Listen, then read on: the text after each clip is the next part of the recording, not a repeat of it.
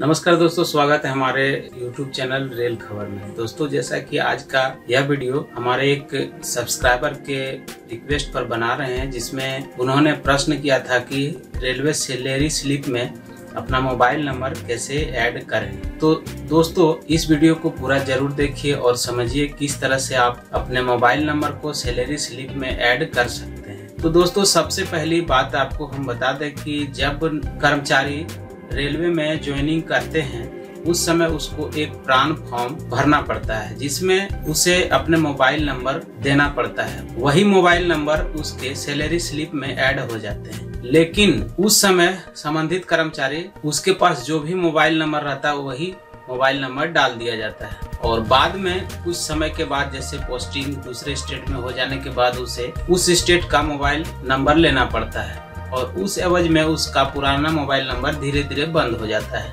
और तब उसके मोबाइल नंबर पर उसके सैलरी से संबंधित कोई भी एसएमएस नहीं आता है। और वह चाहता है कि हमारा present mobile number salary slip में ऐड हो जाए। इसके लिए उसे एक साधारण सी काम करनी पड़ती है। तो यदि आपका भी यही प्रॉब्लम है, आपका पुराना नंबर बंद हो गया हो और नया नंबर को सैलरी स्लिप में ऐड कराना चाहते हैं तो अब तो आपको प्राण फॉर्म में ऐड नहीं होगा। लेकिन इसका एक प्रोसेस है जिसके ज़रिए आप अपने नए मोबाइल नंबर को अपने सैलरी स्लिप में ऐड करा सकते हैं, यानी चेंज करा सकते हैं। इसके लिए दोस्तों आपको एक साधारण सी काम करनी पड़ेगी।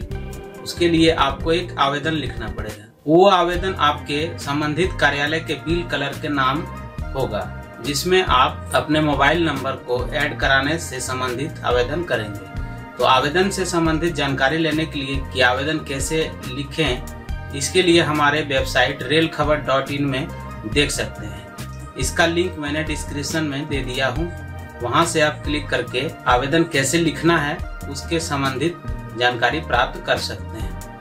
तो आप बिल कलर के नाम एक आवेदन लिखें, जिसमें आप बताएँ कि हमारा मोबाइल नंबर पहले ये था और अब हम अपना मोबाइल नंबर चेंज कराना चाहते हैं, जो ये है। और वह आवेदन आप अपने बिल कलर को सौंप दें। तो इस तरह से आपका 15 से 20 दिन के अंदर आपका मोबाइल नंबर चेंज हो जाएगा और पुराने के जगह पर नया मोबाइल नंबर ऐड हो जाएगा और सारे मैसेज जो भी आपका सैलरी से रिलेटेड है, वो आपके नए मोबाइल नंबर पे आना शुरू हो जाएगा। तो इस तरह से आप अपने कोई भी मोबाइल नंबर ऐड कराना चाहते हैं तो आप इस प्रोसेस से अपना नया मोबाइल नंबर ऐड करा सकते हैं।